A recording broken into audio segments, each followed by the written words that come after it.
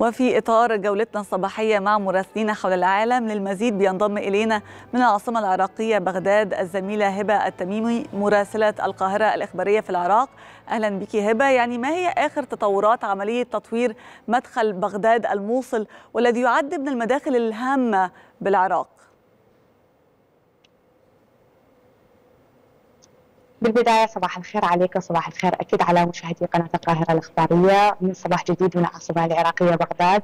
آه مثل ما أشرتي هنالك آه يعني آه يعني مداخل هذه المداخل تم يعني الأمور بها وبتوجيهات من رئيس الوزراء العراقي محمد شياع السوداني في هذا الموضوع لأنه مداخل العاصمة بغداد تعتبر هذه المداخل هي واجهة للعاصمة العراقية بغداد. وحتى هنالك في المنصات التواصل الاجتماعي تحدثت الكثير من الوسائل التواصل الاجتماعي من الكثير من المواقع.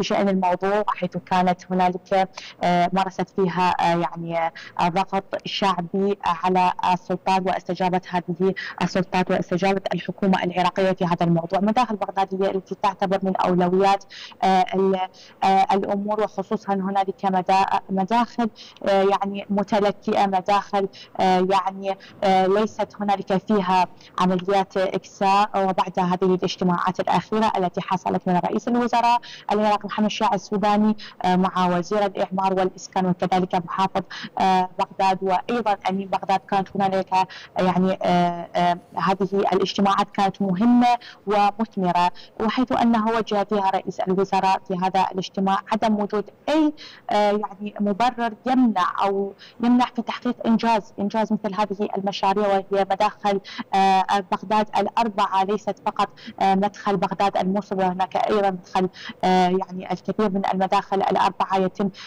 حاليا الإنجاز بها من يوم أمس تم تم بدء موضوع هذه المشاريع، المشاريع تعتبر هي المداخل تعتبر واجهة لبغداد مدينة بغداد وبالتالي أن لازم أن تكون هنالك مداخل تليق باسم العاصمة بغداد. هذا الاجتماع الأخير حقق ما حقق فيه وجاء في الوقت المناسب وجاء بعد المناشدات الكبيرة من قبل الشعب العراقي وخصوصا أنه هنالك زخم مروري وخنق في يعني هناك الكثير من الاختناقات المرورية هناك كثير من التوجيهات أيضا من قبل رئيس الوزراء في هذا الموضوع التي التي بات أنه يزعج المواطن العراقي وخصوصا عند ذهابه إلى دوائره الرسمية أو في أيضا في يعني الكثير حتى من الطلاب الذين يتوجهون إلى دراساتهم وجامعاتهم. هذا الموضوع أزعج المواطنين بعد المناشدات الكثيرة صرح رئيس الوزراء في الاجتماع الأخير الاجتماع المثمر.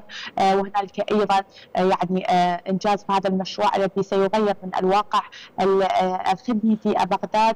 وأيضا هذا الموضوع سيحقق مسار كبير يعني وجود هذه المؤسسات الخدمية التي ستقوم في هذا الإنجاز بأسرع وقت ممكن حيث أيضا صرح في تصريحه الأخير رئيس الوزراء يعني في تكثيف هذه الجهود بدل ما أن تكون هنالك ثمان ساعات لإنجاز هذه المشاريع خصوصا في مداخل بغداد ستكون هنالك مش... يعني إنجاز كبير ستحققه يعني يعني محافظ بغداد وأيضا أمانة بغداد والجزء الآخر أيضا يعني وزارة الإعمار والإسكان ستكون هنالك تكثيف على 24 ساعة ستكون هنالك ثلاث يعني ثلاث شفتات يعني ستقوم فيه هذه الوزارة في تكثيف موضوع الإكساء، أما بشأن المداخل ستكون هنالك هذه المداخل نموذجية التي يعني تشمل الإكساء وأيضا ليس الإكساء فقط فإن هنالك أيضا إكساء المقتربات والإنارة توسيع الشوارع طيب هبة عايزين نروح لموضوع تاني بقى. كيف أثرت الأمطار الأخيرة التي شهدتها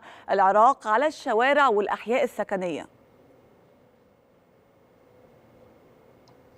بصراحة الأيام الماضية الأخيرة شهدت المدن العراقية يعني أمطار غزيرة وكثيفة وشهدت في المدن العراقية شهدت حتى في بغداد. وأيضا كانت هنالك أمطار شديدة وغزيرة وحبات أيضا المطر كانت هنالك كبيرة في محافظة الديوانية الذي تعاني من هذه يعني من قلة الخدمات الموجودة في هذه المحافظة. وهنالك أيضا يعني أبنية آلية للسقوط في هذه المحافظة، شهدت هذه المحافظة يعني المدينة استنفرت واستنفرت أيضا الحكومة المحلية آلياتها المتخصصة في هذا الموضوع لسحب المياه الأمطار التي كانت موجودة التي تعرضت بها هذه الشوارع شوارع المدينة الرئيسية في محافظة الديوانية الذي تضررت بصراحة من هذه الأمطار وصعود المياه حتى إلى مستويات أغرقت فيها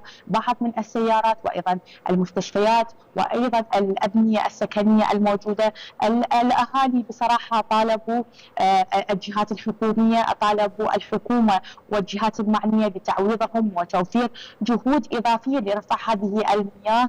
الأمطار من هذه المحافظة وبعد يعني بعد أن الأهالي بصراحة تركوا معظمهم منازلهم بعد غرق غرقها بالمياه الأمطار وطالبوا بتوفير الجهود الإضافية لرفع هذه المياه والكثير من المناطق التي شهدتها المحافظات العديدة وخصوصا محافظة الديوانية. أيضا الأمطار الغزيرة كانت هي أمطار جدا غزيرة. تمت أيضا توجيهات من رئيس الوزراء بتعطيل الدوام الرسمي في هذه المحافظة وتعطلت الدوام الرسمي بعدد بصراحة بسبب الأمطار وعدم نتمنى إن شاء الله يعني كل السلامة لكل العراقيين. يا هبة هبة تميمي مراسلة القاهرة الإخبارية كنت معنا من العراق. شكرا جزيلا لك على كل هذه المعلومات.